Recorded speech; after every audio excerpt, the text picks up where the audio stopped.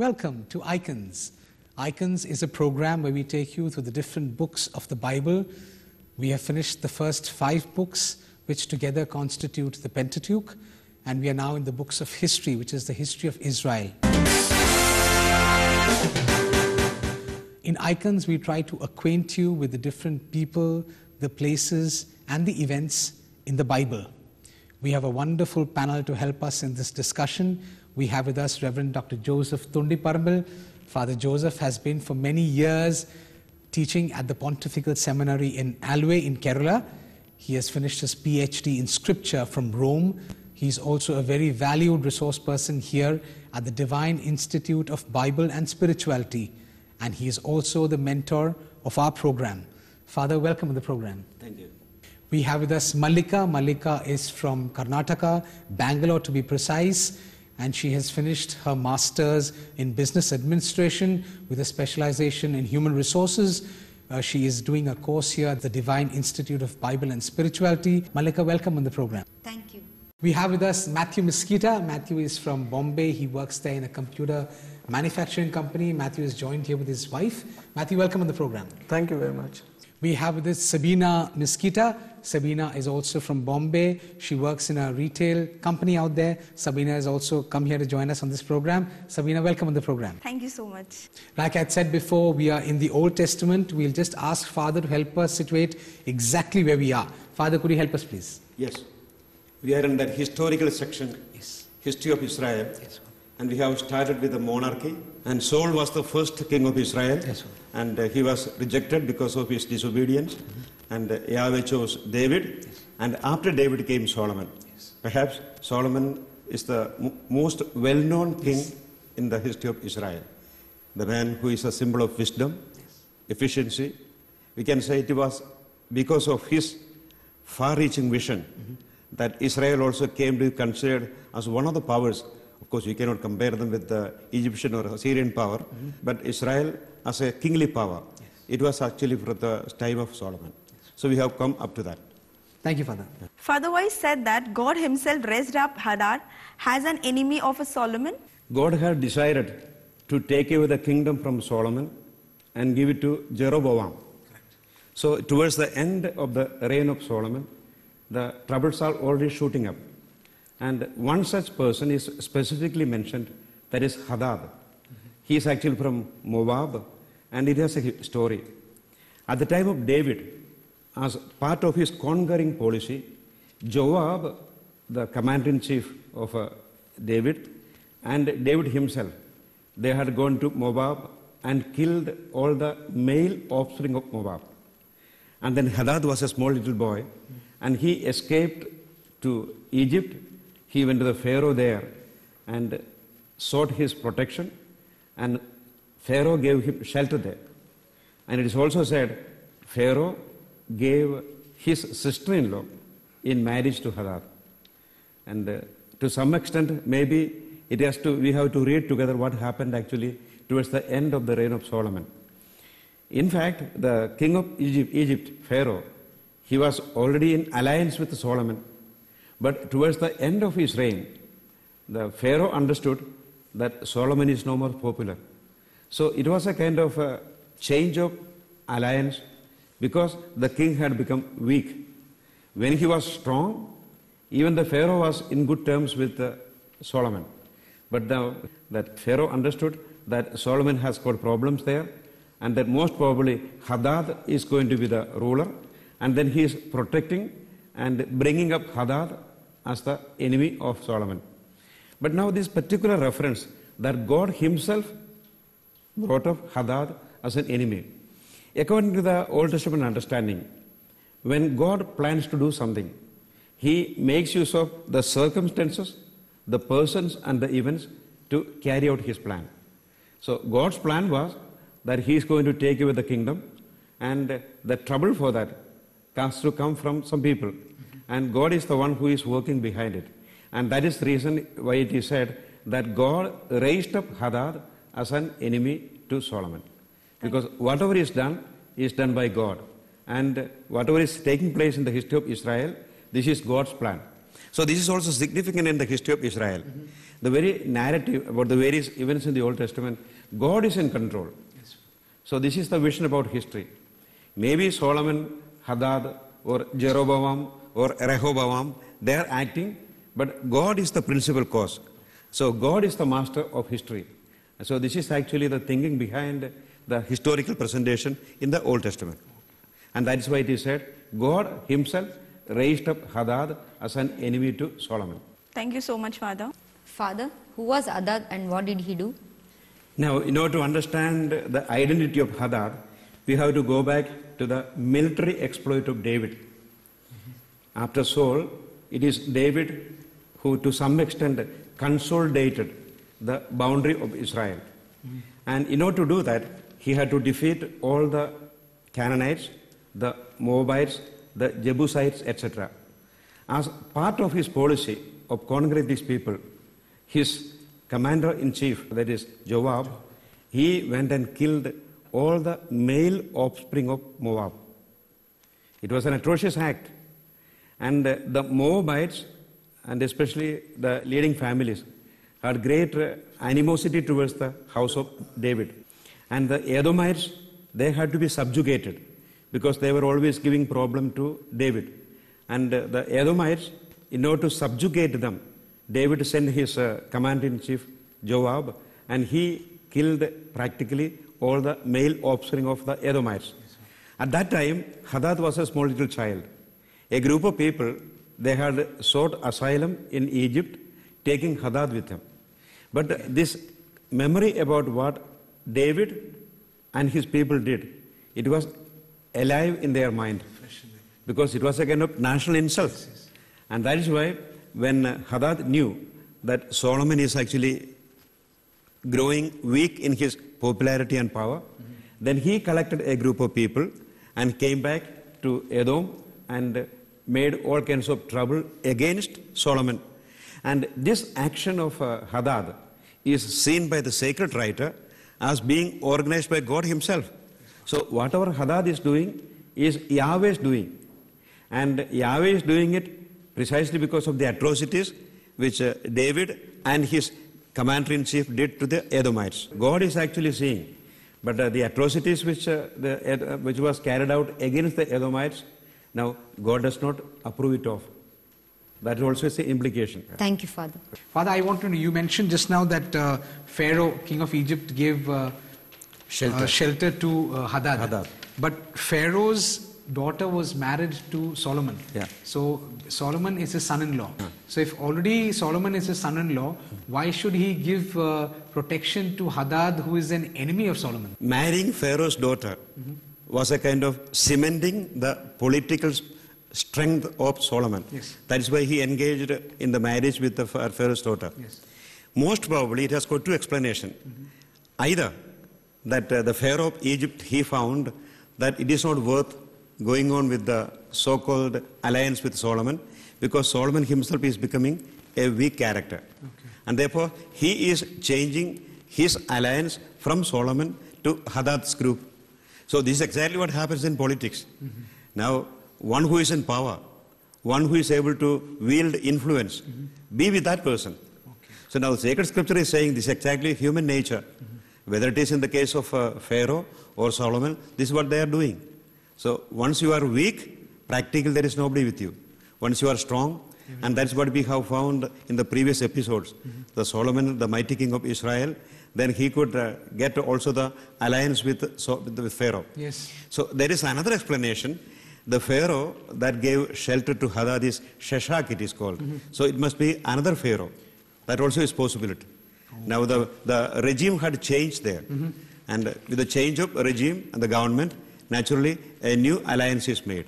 So that will explain why the new Pharaoh, instead of siding with Solomon, that was the case with uh, the previous incident. Exactly in the case of Joseph, for example. Uh, in the book of Genesis, Yes. the Pharaoh was actually very much in favor with Joseph. Yes. But after the death of Pharaoh, when the new Pharaoh came into power, Joseph and his, and his brothers, they were considered as slaves and they were put to hard labor. So this is what happens in politics. So this observation, so this is what happens in politics. In politics, you join with the, the people who have got power and influence. And the other things are all taken just for granted. Thank you much, Father. Father, uh, why did Jeroboam revolt against Solomon? Sir, it is a very good question in the sense it is with the revolt of Jeroboam against Solomon that the tendency to divide the kingdom into two started. First, we have to know who is Jeroboam. Jeroboam was in charge of the bonded labor in Israel, and it is said he was an efficient man.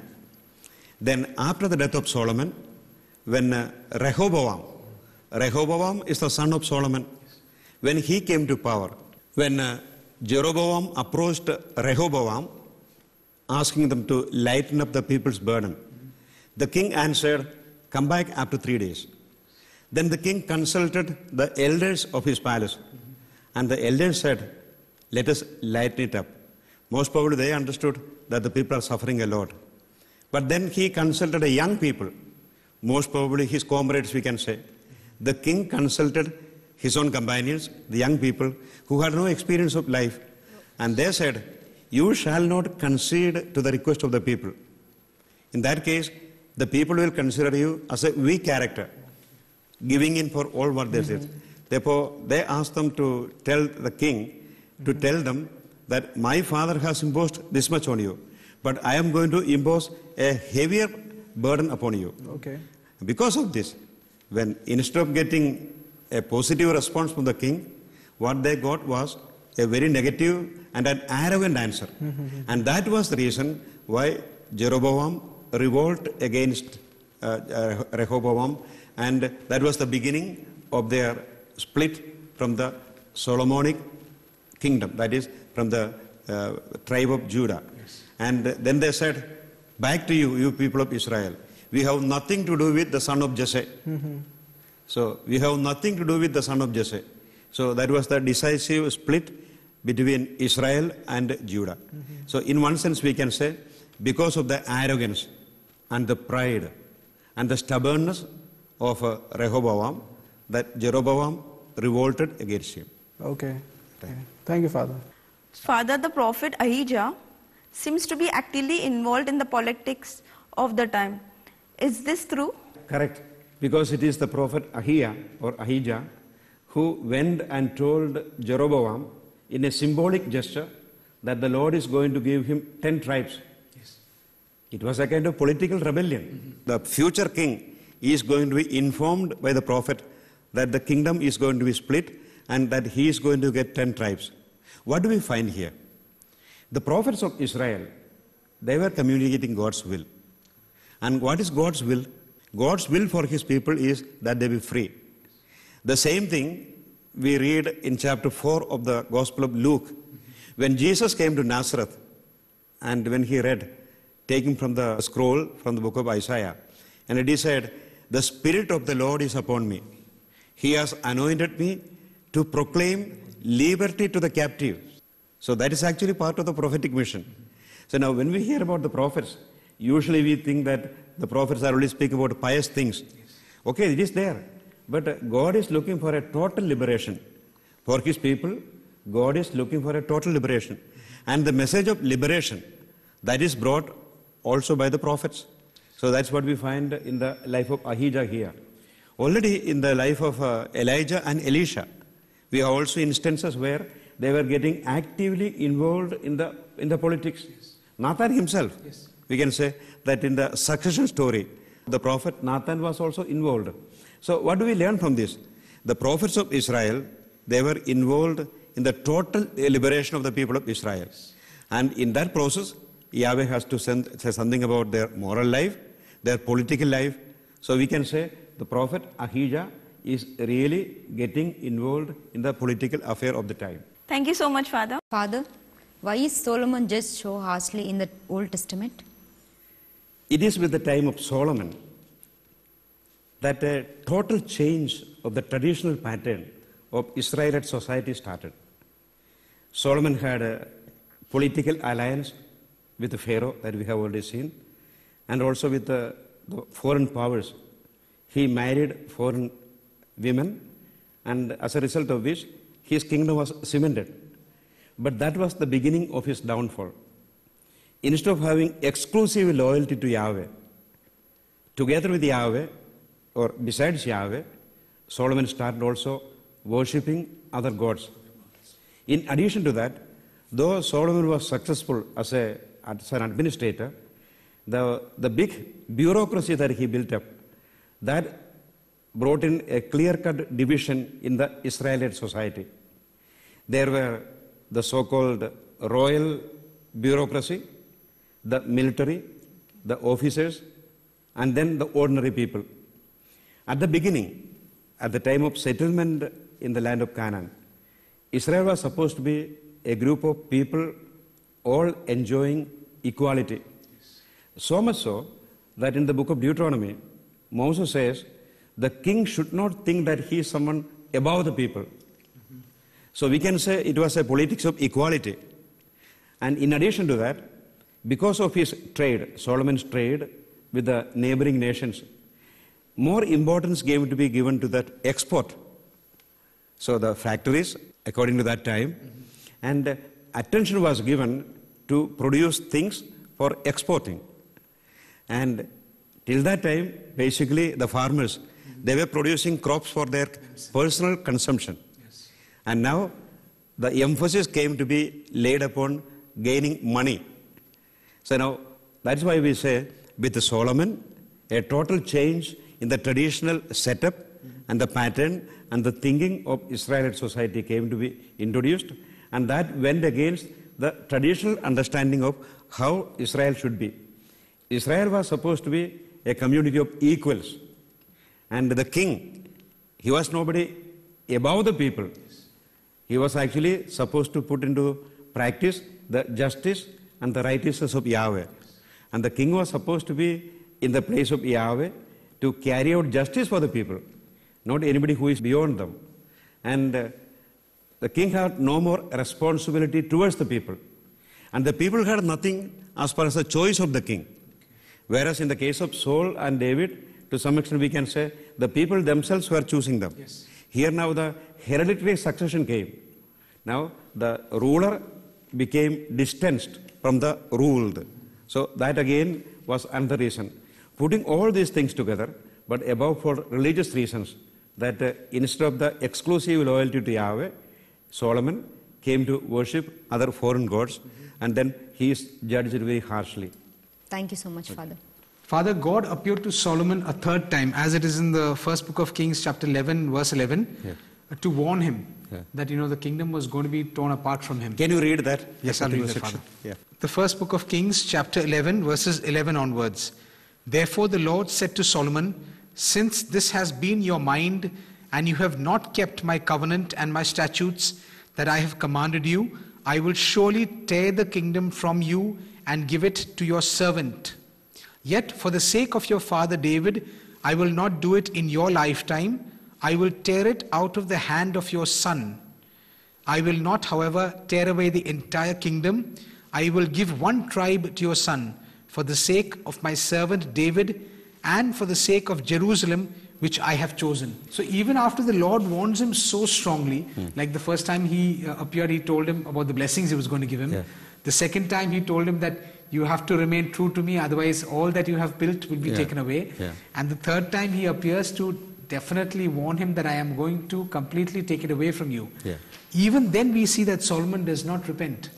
Uh, the first time he was in the early stages of his taking over the kingdom, we see him very humble, where he prays for wisdom. The second time he is more established, but right now, Father, we see that he has absolutely no concern for this great vision that the Lord has come to him with. That is precisely the lesson that we have to learn here.